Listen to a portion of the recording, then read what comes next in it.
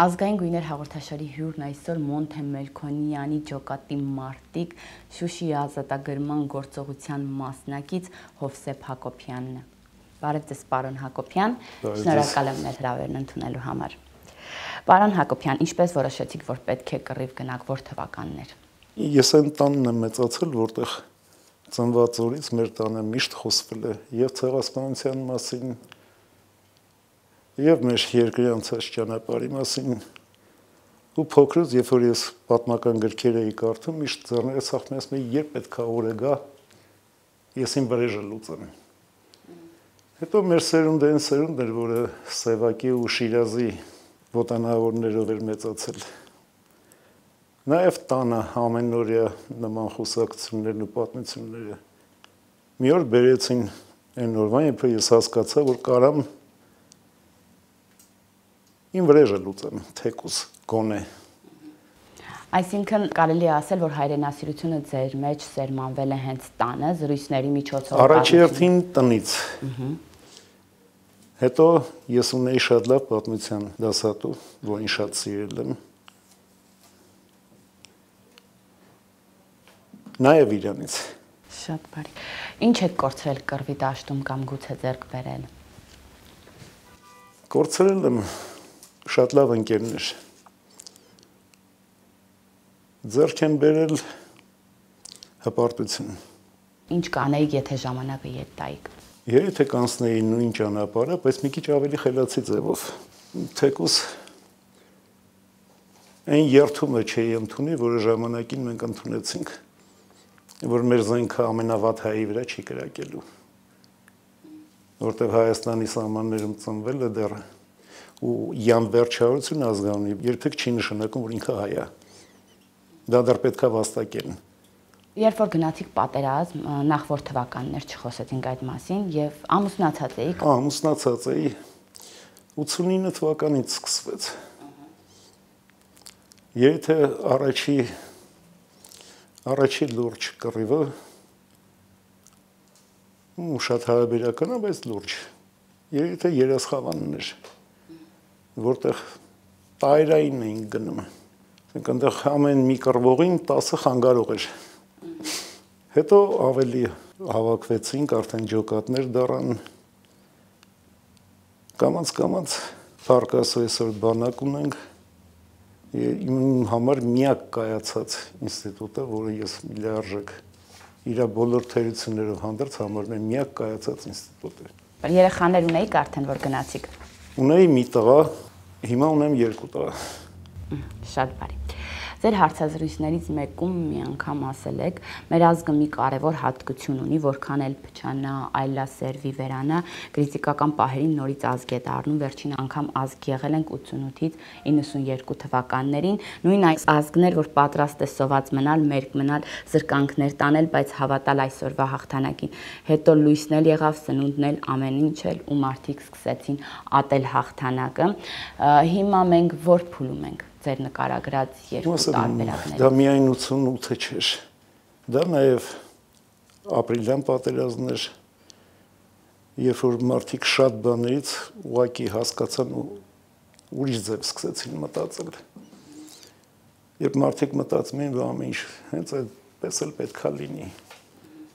Բայց այդ ժամանակը ցույց տվեց, որ շատ բաներ դեռ մտածելու տեղի կա։ Ահա 2016 թվականի ապրիլը, այսպես ասած, նույն զգացողություններն էր արտնացնում ժողովրդի մեջ, ոնց որ 90-ականներն էին։ Դուք ինչ զգացիք այդ պահին։ Առաջի բանը ես որ զգացի, առաջի օրը, երբ որ ես մտա խրամատ, ես ուրախությունից լացել եմ այդ երեխեքի հոգեվիճակը տենալուց, իրանց դոխը տենալուց, իրանց ամեն ինչը։ Ես հասկացա, որ երիտե նույնն են ինչ որ մենք էինք Արցախյան պատերազմի ժամանակ։ Նույն ձևի ամեն ինչը տեղն էր ու նույն ձևի միամիտ։ Ահա շատ ակտիվ մասնակցել եք Շուշիի ազատագրմանը։ Ձեր զգացողությունը առաջին պահին, առաջին զգացողությունը երբ ազատագրվեց Շուշին։ Եթե նկարագրելի է, մենք Շուշիի այնքան ենք ձգտել, այնքան ենք պատրաստվել ու երկար սպասել, որ ազատագրելուց հետո մի վիճակ էր, որ շատերին թվում էր, թե պատերազմը վերջացավ։ Չնայած դա այդպես չէր։ Այնքան բորներ զգացումներ, որ շատերին թվում էր, թե դրանով ամեն ինչ արվեց, վերջացավ։ Շուշին իր դիրքով ու ամեն ինչով պատահական չի, որ այդքան մեծ արժեք ունի, որտեվ եթե Շուշին չազատագրվեր, այսօր կարող է Ղարաբաղի հարցը հակառակ կողմով լուծված լիներ։ Իր դիրքով ու ամեն ինչով Շուշին միշտ հսկել է, միշտ իշխել է։ Եթե ամբողջ Արցախի վրա։ Պատերազմը երբ կավարտվի մեզ համար, թե չի ավարտվի։ Պատերազմը մեր համար մենակ մի ձևով կարա ավարտվի։ Ոչ այն ձևով, ինչ որ շատերը ես չի ասի խոսում են, իսկ ասի երգում են։ Երբեք նախաղ վիճակով չի ավարտվի չունի լուծում։ Միշտ դիմացինը պետքա ուզի, մենք էլ միշտ պետքա չտանք։ Պատերազմը կավարտի, երբ որ մենք գոնե մի անգամ մեր պատերազմը ոչ վերջ կտանենք։ Այսինքն միայն հաղթանակով կարելի լինի խաղաղություն։ Զինադատարը ընդհանրապես пассив պատերազմը։ Մոնթեի կերպարը ձեր նկարագրմամբ ինչպես կներկայացնեք Մոնթեին։ Մոնթեին Առաջի հերթին իր ազնվությունը։ Դա Մոնթեի մագնիսական հատկությունը, ինքը ցանկացած մարդու հետ եւ զրուցում էր, կար ժամանակ հետո բոլորը վարակվում էին իր գաղափարներով։ Ու անհնար էր չհետևել իրան։ Որտեւ հիմնականում դա այն գաղափարներն էր, որ շատ մարդկանց մեջ կար տարիներով քներ ու այդ օրը արթնանար։ Ու երիտե շատ հազվադեպ հրամատարներից էր, որ իրախստությունը դրսևորվում էր նրանը, որ մարդիկ հարգում էին, սիրում էին, որ ուղղակի չէին կարա իր ասածը չանեին։ Իրանք իրանց թույլ չէին տա։ Մոնթեի մահը համարում եք ինչ որ բանի ավարտ, ինչ որ փուլի։ Մոնթեի մահը ես համարում եմ Մոնթեի պես մեծ փիլիսոփայի, մեծ զորականի լավ ընկերոջ կորուստ։ Բայց Մոնթեի մա, Մոնթեն այն տեսակի մարդկանցից էր, որ իր մահով էլ ծառայեց մեր երկրին։ Իշքանը որ ցավալի է, նույնիսկ իր մահը այսօր նպաստում է, որ մարդիկ մի քիչ մտածելակերպ փոխեն մի քիչ Մոնթեավարի լինեն, այսինքն փորձեն մի քիչ ազնիվ լինեն։ Ահա Պարոն Հակոբյան, այն ինչ եք զգում երիտասարդ տարիքում պատերազմ գնալուց առաջ, արդյոք հեշտ է այդ որոշումը կայացնելը։ Չէ՞ որ ունեք ընտանիք, ծնողներ։ Ես չեմ ուզում ուրիշների փոխարեն ասեմ, իմ համար հեշտ է եղել։ Իմ համար նույնիսկ հիմա է հեշտ, որտեղ ես գիտեմ վաղ թե ուշ էլի է լինելու ու իմ միակ ցանկությունն է որ գոնե մի անգամ մեզ չխանգարեն գոնե մի անգամ մենք հասցնենք ավարտի ոչ թե դա ինչ որ գլուխ գովալա, եսի ինչը։ Մենք իրոք կարող ենք դա անել։ Ու ի վերջո մի օր պետք է անենք։ Ինչ են զգում պատերազմի դաշտում։ Լինում է որ հիշեք դե լինում է բնականաբար ընտանիքը, երեխաները։ Եթե ամեն ինչ էլ լինում է։ Մայրերին։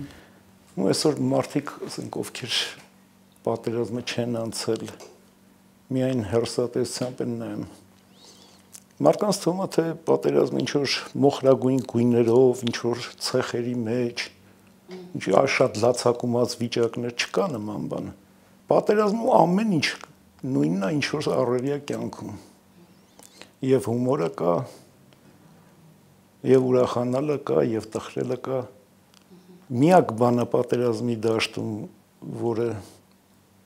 իմ համար վատ հիշողությունները ու որը չէինք ուզենա ունենենք, դա անկեր կորցնելն էր։ Մնացած բոլոր առումներով դա այն տեղն էր, որտեղ մենք մեզ բոլորից լավ էինք զգում, որտեղ բոլորից լավ էինք համակերպվում,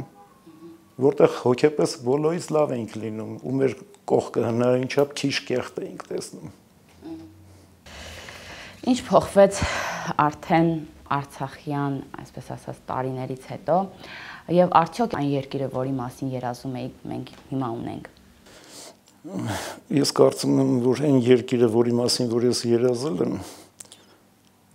շատ հեռու է իմ երազանքներից ու ցանկացած հայի երազանքներից որպես հայ բոլորի պես ես էլ կերազեմ ունենալ այն երկիրը, որը երազում ենք բայց դրան մենք նույնիսկ մոտիկել չենք Ձեր հարցազրույցներից մեկում ասել եք, որ վախենում եմ, որ պատերազմը վերասկսվի, տղաներս հանկարծ կողքից կանգնեն։ Վախենում եմ, որովհետև գիտեմ կկանգնեն, հետո պահել չի լինի, ինչպես ինչ չկարողացան հետ պահել։ Վախենում եմ կորստից։ Ես էլի նույնն եմ մտածում, ու վախենալը մի քիչ այդ ձևով չի արտահայտվում, քանի որ ես իրական կորուստներ եմ ունեցել, քանի որ մենք ունեցել ենք ընկերների կորուստներ բնական է, որ ես պետքա վախենամ միայն կորստից։ Իսկ նա, որ իմ տղաները նույնպես պետքա մասնակցեն, դրանում կասկած ես չունեմ ու նույնիսկ ինչ որտեղ կնպաստեմ էլ։ Ահա։ Իսկ եղել է որ ձեր ծնողներն են դեմ եղել, որ դուք գնաք պատերազմ սահման։ Բնական է, ծնողները միշտ վախ ունեն այնց այդ կորստի վախը ունեն բնական է եւ որ կփորձեին խոչընդոտել եւ փորձեին համոզել բայց նաեւ բնական է որ իրենք այդ ամեն ինչով հանդերձ իրանք էլ էին կողմ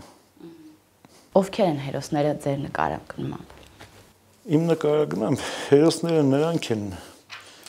ովքեր կարողանում են իրենց հետևից մարդկանց տանեն ովքեր կարողանում են մարդկանց մեջ հույս արտնասնեն նպատակին հասցնելու գաղափարը ինչև վերջ առաջ տանեն ու երբեք հետ չկանգնեն իրենց գաղափարներից ինչ սերունդ ունենք հիմա մանավանդ ապրիլյանից հետո ապրիլյանին ես բավականին ուրախ էի բավականին ողջավորված եկա